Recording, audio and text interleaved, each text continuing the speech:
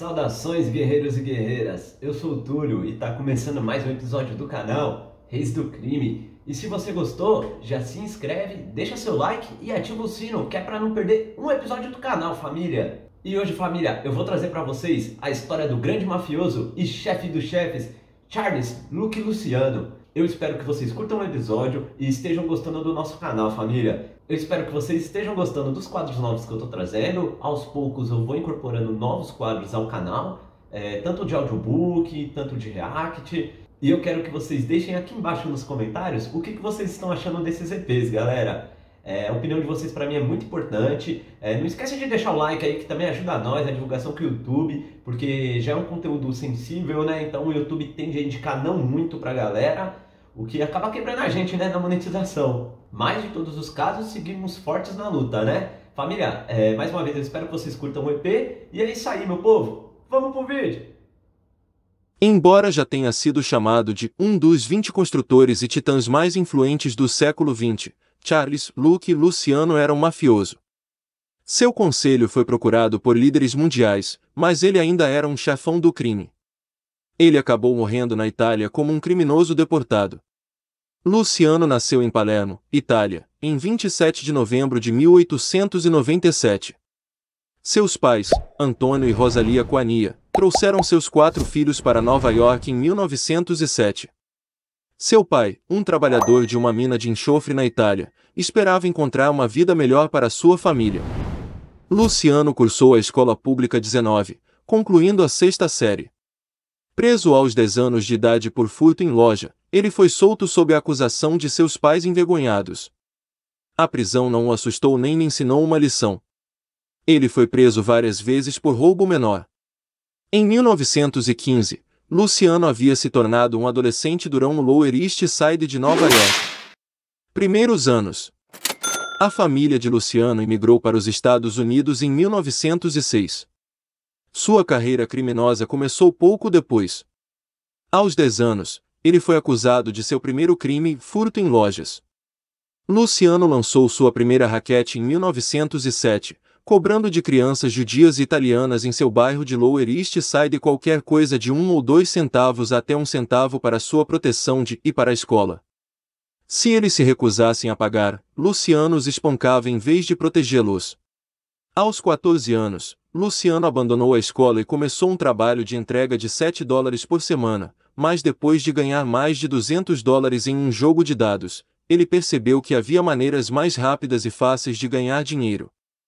Seus pais o enviaram para Brooklyn True School na esperança de corrigi-lo, mas em 1916, após sua libertação, Luciano assumiu o cargo de líder da notória Five Points Gang, onde conheceu os futuros líderes da máfia Vito Genovese e Frank Costello. Nos anos que antecederam a Primeira Guerra Mundial, Luciano expandiu seus empreendimentos criminosos para incluir lenocínio e tráfico de drogas e, embora a polícia o tenha apontado como suspeito de vários assassinatos locais, ele nunca foi indiciado. Luciano logo teve uma gangue de meninos italianos durões o seguindo. Ele ensinou sua gangue a raquete de proteção, e eles passaram o tempo coletando centavos de meninos judeus locais que pagavam para não serem espancados. Um menino, Meyer Lansky, recusou-se a ser intimidado e, em vez disso, riu dos italianos durões. Esse desafio ousado impressionou Luciano. Essa dupla improvável se tornaram melhores amigos e conseguiram fundir as gangues italianas e judias no Lower East Side. Sua amizade resultou em uma parceria criminosa de sucesso que duraria até suas mortes. Lansky acabaria se tornando o arquiteto do império criminoso de Luciano em Nova York e em todo o mundo. Luciano conseguiu um emprego como entregador de chapéus para um fabricante de chapéus judeu chamado Max Goodman.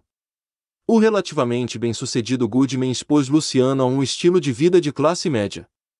Mas Luciano não planejava trabalhar tanto quanto Goodman. Ele logo percebeu que, se colocasse algumas drogas nas fitas do chapéu, poderia matar dois coelhos com uma cajadada só. Ele também aprendeu uma das lições mais valiosas de sua vida, a de ganhar dinheiro por trás de uma frente legal. Logo ele estava ganhando mais dinheiro do que jamais vira antes como traficante de drogas.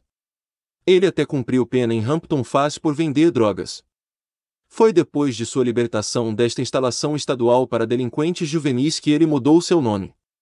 Ele sentiu que seu nome de Salvatore, ou Sal, era o nome de uma menina, então ele ficou conhecido como Charlie.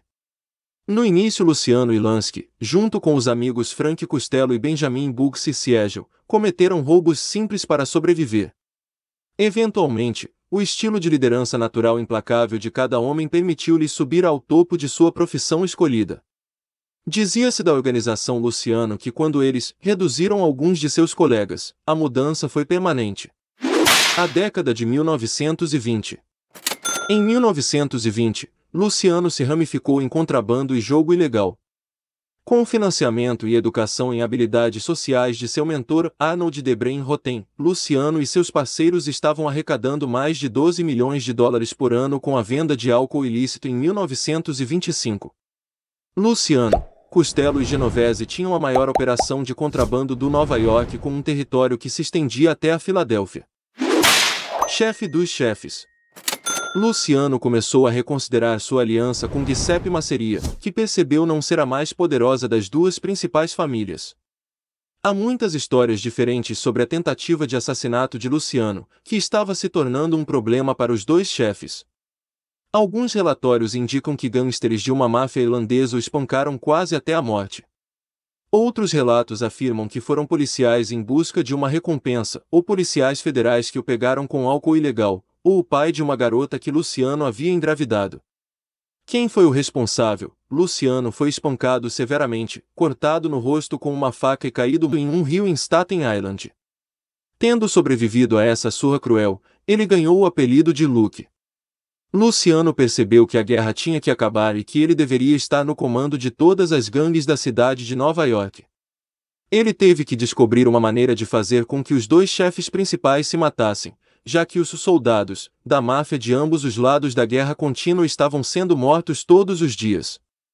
Ele percebeu que o derramamento de sangue contínuo entre gangues estava atraindo cada vez mais a atenção das autoridades e atrapalhando seus negócios lucrativos.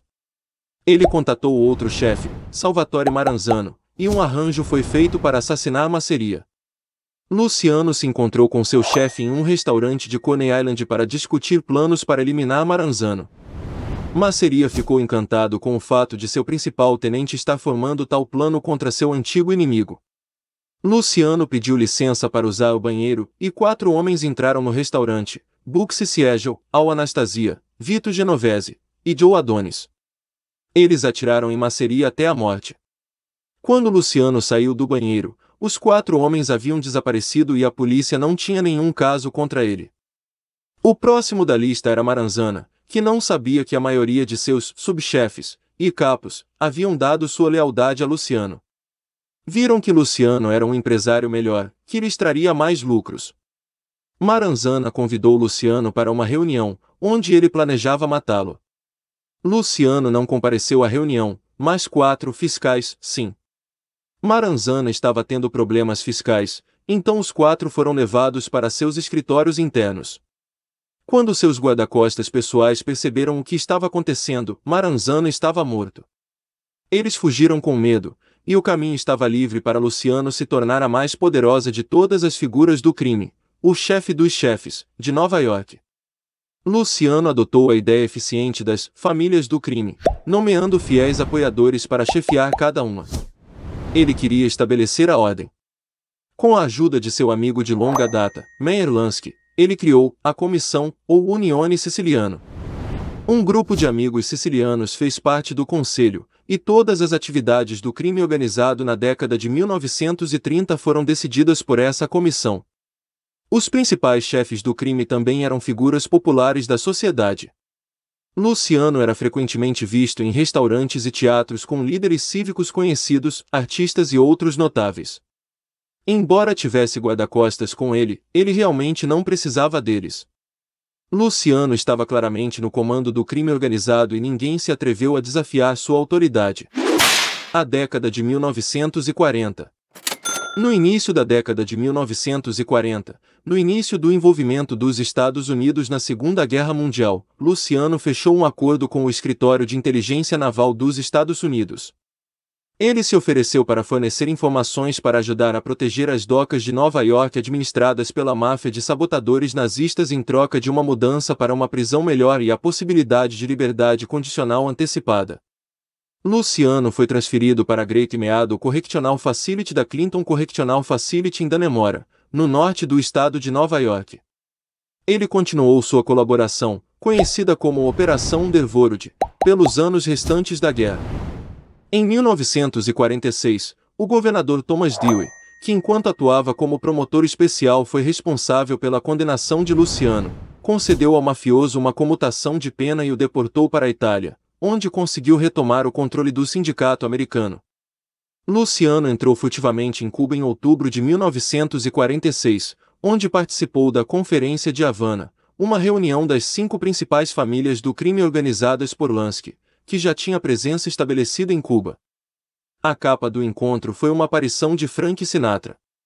Durante a conferência de uma semana que se concentrou no comércio de heroína e atividades de jogo em Cuba, e também para decidir o destino de Bugsy Siegel e seu poço de dinheiro em Las Vegas, o Flamingo Hotel, Luciano se encontrou em particular com Genovese, que sugeriu que Luciano assumisse um papel de chefe dos chefes, permitindo que Genovese controle as atividades do dia a dia do sindicato. Luciano recusou, dizendo: Não existe chefe dos chefes. Eu recusei na frente de todo mundo. Se eu mudar de ideia, ficarei com o título. Mas não depende de você. Agora você trabalha para mim e eu não estou com vontade de me aposentar. Dom nunca mais me deixe ouvir isso ou vou perder a paciência. Quando o governo dos Estados Unidos soube da presença de Luciano em Cuba, rapidamente decidiu repatriá-lo para a Itália, onde permaneceu pelo resto da vida. Enquanto ele continuou a lucrar com atividades relacionadas à máfia, seu poder e influência diminuíram. Morte e legado. À medida que Luciano crescia, seu relacionamento de longa data com Lansky começou a vacilar. Luciano sentiu que não estava recebendo seu quinhão da máfia. Insatisfeito, ele providenciou para que suas memórias fossem escritas, não para desnudar sua alma, mas para esclarecer as coisas como ele as via. Ele descreveu suas façanhas para o escritor Richard Hammer e também marcou um encontro com o produtor Martin Ghost sobre uma possível versão cinematográfica do projeto.